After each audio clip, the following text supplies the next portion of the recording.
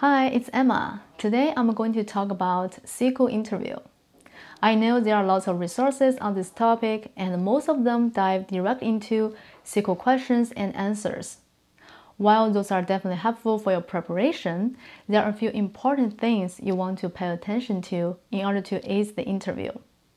For example, without knowing how you will be evaluated, you might fail the interview even if you think you provided the right answer. In this video, I will cover everything you need to know to ace the SQL interview. Here is an overview of this video.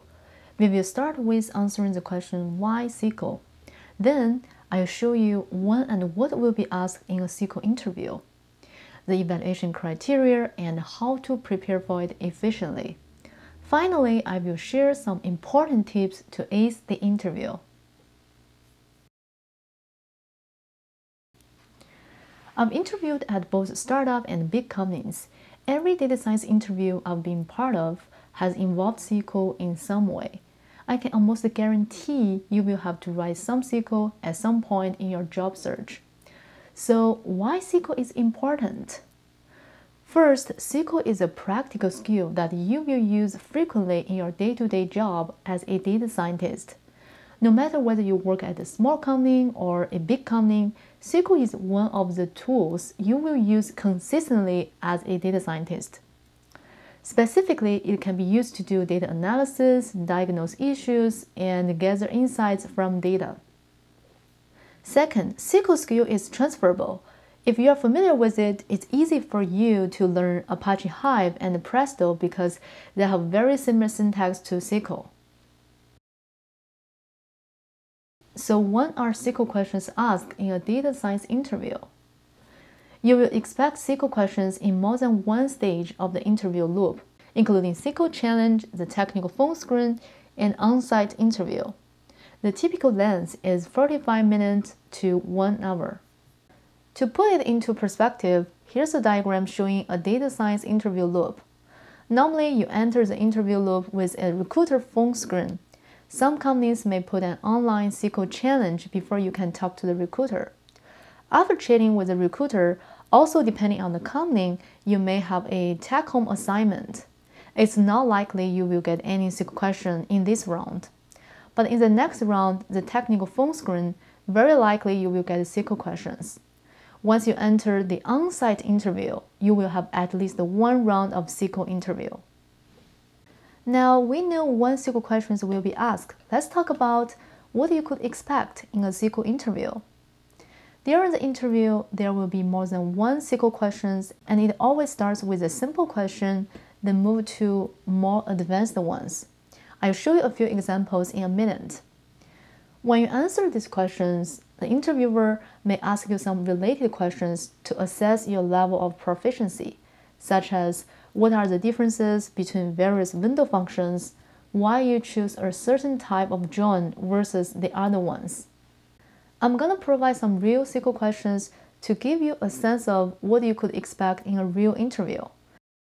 You could find five questions on gameplay analysis on LeetCode, ranging from easy to hard level. Let's take a quick look at the first and last questions just to compare the level of difficulty. For the first question, it provides an activity table with four columns, player ID, device ID, event date, and games played. Player ID event date is the primary key of the table. The table shows the activity of players of some game. Each row is a record of a player who logged in and played a number of games before logging out on some day using some device. The question asks you to write a SQL query that reports the first login date for each player.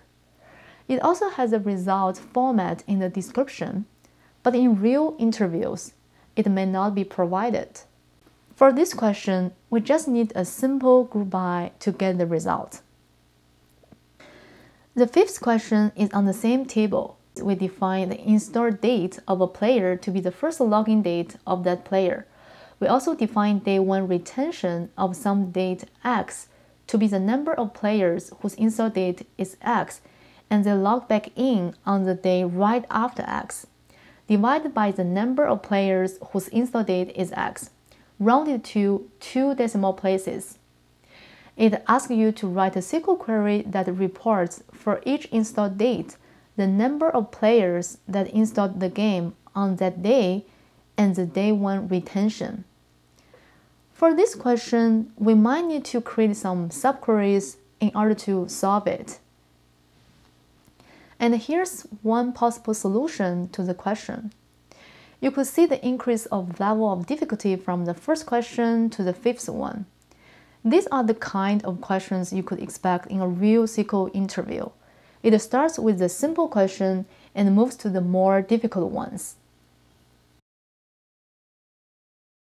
There are a couple of aspects that an interviewer is looking for during a SQL interview. First of all, logical reasoning. When you answer a SQL question, the interviewer will evaluate whether you are able to make logical connections between the data table and the answer. You need to describe what columns are needed for the query and how you would write the query to solve the problem. Second, communication. The effectiveness of your communication matters. Before dive into coding, you want to clearly communicate your thought process. When the interviewer stops you and asks questions, you need to explain the reasoning of your choice. Third, code quality. The interviewer will judge your code quality based on 1. Whether the code is executable without any syntax error. 2. If your code is clean and concise. 3. Whether you considered edge cases. 4. Whether your solution is optimized in terms of efficiency. For example, you could get the same result using one join or using three joins. The answer with one join is more optimized. Lastly, proficiency. As I mentioned earlier, there will be multiple questions in a SQL interview, so your speed to crack them is also important. Being able to solve more questions within a limited amount of time demonstrates your proficiency of SQL. After the interview, the interviewer will grade you based on your performance. Usually there are four levels of grading from negative to positive. Starting from the most negative side, strong no. This means the candidate did not solve any problem at all, even with hints. If you know how to write SQL queries, it's not likely for you to get this score. Next up, we have weak nil. At this level, candidates may come up with workable solutions, but they require a lot of hints during the interview. Or the candidate did come up with the solutions, but the code quality is poor due to syntax errors or low efficiency. Lots of candidates fail at this level. They know SQL but not proficient enough. They just need more practice. Moving on, we have weak yes. At this level, candidates have strong SQL skills. They are able to come up with solutions with little or no hint. They are able to write high quality and efficient SQL queries. However, they may not be fast enough to solve all the questions within the time of the interview. This leads to the final level, strong yes. On this level, candidates have advanced SQL skills and they know every bit of detail by heart.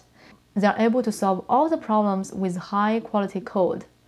The solutions are able to cover most of the corner cases, and there's little room for the interviewer to nitpick.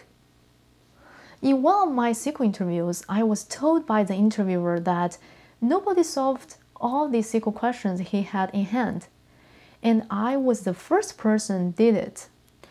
There is no secret other than practice. So how to prepare for the SQL interview? If you are a beginner or you know SQL but haven't used it for some time, you want to brush up the basic knowledge. At the minimum, you should be familiar with these concepts. Filter, join, group by, where, having, case statement, and window functions. I recommend two sites to study them, W3 Schools and Mode Analytics. Both are free and have exercises to deepen your understanding on these concepts. Once you get the basics, you could start solving the SQL problems using the online practice sites. I recommend two sites for you, HackerRank and LeetCode. Both have clear categorization of the difficulty level of questions. HackerRank is free, but LeetCode requires subscription to see all questions. You can also do mock interview by yourself. Set a timer to solve real SQL interview questions. For each question, typically 5 minutes for an easy one, 10 minutes for a medium, and 15 minutes for a hard question. Finally, here are some tips to ace the SQL interview. Before writing your answer, make sure to ask clarification questions. For example, what are the primary keys of the table if you are not giving? What is the format of a timestamp column? And clarify the format of the result with the interviewer. Another tip is to talk through your thought process out loud. Remember, you will be evaluated based on logical reasoning and communication. If you get stuck when writing the code, don't be nervous or frustrated. Instead of being silent, it's better to ask the interviewer for some help. As we have mentioned in the rubrics, it's possible to pass the interview if you get some help from the interviewer. In fact, the interviewer will be happy to help you pass the interview. Lastly, don't rush. As I mentioned earlier, there will be multiple questions in a SQL interview, but I do not want you to rush through all the problems. It's better to slow down to pay attention to all the details for each problem. For example, try to catch as many edge cases as possible. Again, you will be fine even if you don't solve all the problems. So there you go. Those are all the things you need to know for a SQL interview if you want to get hired as a data scientist. Hopefully it helps. If you like the video, then please give it a thumbs up, subscribe, share it with your data scientist friends. Thank you so much for watching. I will see you in the next video.